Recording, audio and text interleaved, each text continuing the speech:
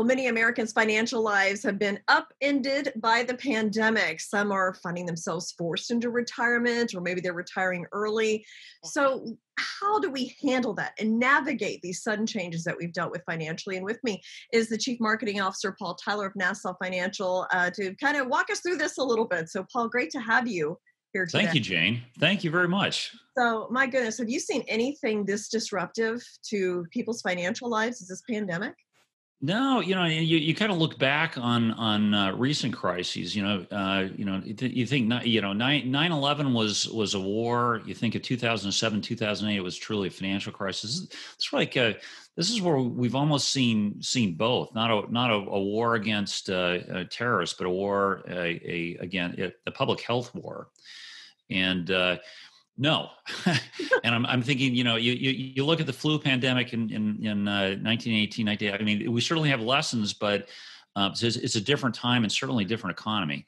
Absolutely, and I, I don't think we still know how this is all going to play out in terms of how it's going to change society and whether they're going to go to an office again and all that. So, well, what are you seeing? Like, are is the situation out there? Are you seeing a lot of people who lost their jobs and maybe they're you know 60 and like what are you seeing? Yeah, I, th- I think that probably the most interesting group that we've been talking to are people who are on the cusp of retirement. And uh, again, th- this is a, a really to- completely different type of crisis where, you know, if you're fortunate, you were able to go home, work from your your house, and uh, you know, other than uh, you know shortening a commute, you're doing sort of the same business, getting paid the same. Other people, obviously, um, uh, you know, if you had a business that had anything to do with meeting in person, meeting in place, or traveling, uh, mm-hmm. your your business has been utterly disrupted. Of course, you know, the longer this thing goes, the more it will touch more and more parts of our, our, our economy. So I think as people are pro- approaching you know in their you know early to late 50s um, you're, you're really in sort of a danger zone here um, which is you're you're in a, in a zone where you know if your job your your company uh, goes belly up you lose your job it's not going to be easy necessarily to replace your income uh, as quick as it would be if you were you were in your 30s so what do you do? Um, and, and we, have had a lot of questions jane around uh, you know gee, I either got laid off. What do I do? What do I do with my retirement? Or I'm concerned uh, that I'm fine now, but what will happen six months from now? Mm-hmm. How do mm-hmm. I think about retirement? Well, and, they're at that age where they don't quite have Social Security yet. Um, maybe they haven't saved as much as they should. I mean, I count myself. No one has. Right? Yeah. I mean, no one has saved Welcome enough. to life, right? None, none of us have saved as much as we should have. So, what do you tell them to do? Well, I, I, think some some of the the advice we give would be uh, uh, evergreen advice. Um, like first of all, you you really have to have a clear vision of what retirement will look like, and uh, uh, it, it's like a lot like telling a, a, a story uh, or uh, you know in, in, the newspaper. The the who, what, when, what, where, and why um, is incredibly important. I'd actually start with the why, which is what what's your purpose in retirement? Um, you know, is it that you want to get closer to family? Is it what you want to do something you never could do because you didn't have the time or you didn't have the energy? Um, who do you want to spend time with? And that, that will dictate a lot about what the the uh, things, activities you're going to be doing. Is, is there a palm tree out front? Is there grass? Is there a tree? But it's also how many floors do I have to climb up? Because where you're going to be living now has is probably going to have to carry through through to your 70s. So I think the more you know, and, and behavioral finance, you know, says this: the the clearer you know Jane can imagine her future self being happier 20 years from now, more likely you are to do to do the right things today. There's a huge demand for tech like data analysts and project managers and uh, developers and things like that. I mean, is that realistic for somebody in their 50s? And, and, and there's like kind of condensed classes on this. So you don't have to spend four years in college. I mean, would that be something somebody could do for? No, uh, you know, listen, ab- absolutely. Everybody's in a unique position. You know, some people don't want to learn new skills. Other people love them. Um, I think uh, there are tremendous opportunities. I've seen some incredible, uh, you know, pivots in people's small businesses. Everybody would love to put more money into their 401k, but what do you have?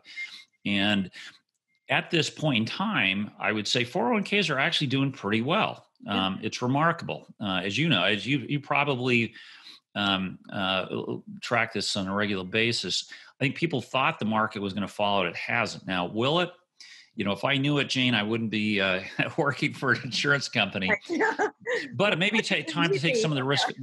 Yeah, I think as you get to this time, questions you need to think about are: Is it time to take a little bit of risk off the table? Now, um, very you know, self-centeredly, we sell annuities. Annuities are very good risk way to take risk off out of the market. Uh, you, obviously, your money is not going to grow as fast potentially as it would be in the market, but you've got guarantees that you've got a certain income in, in retirement. And we all lived through what happened to the stock market in March and April, and that was very scary. And if you're, you know, about ready to retire, um, you know, that's keeps you up at night. So. Well, it, and it can, it's, uh, you know, um, behavioral finances call this the, uh, um, um, this is you know tail risk in retirement, and I, I, think if you actually look at the the, the risk of uh, the uh, the risk of a drop in those last couple years can have a very large impact when you're in a withdrawal phase. You know, it's one thing if you're 30 and you have you know you know on average the market's done great,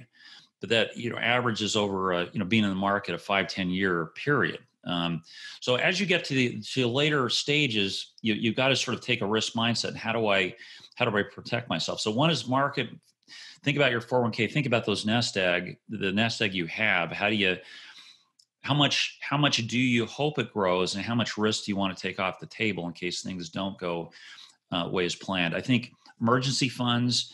Um, you know, if you do lose your job and you do want to take a course like you're describing, because there are a lot of new jobs uh, coming out there how are you going to pay for that mm-hmm. um, do you need to sort of create a, a, a larger emergency fund in in your uh, money market or your cash account? Well and it's very individualistic decision. You know people have to decide you know what their financial situation is what's their capacity for learning something new um, you know, would they be okay and you know, kind of moving to a smaller, cheaper place? Exactly. You know? So you got to kind of think about all those things. So now you mentioned annuities. So I guess give me an, an explanation of what an annuity is and then who might one be appropriate for?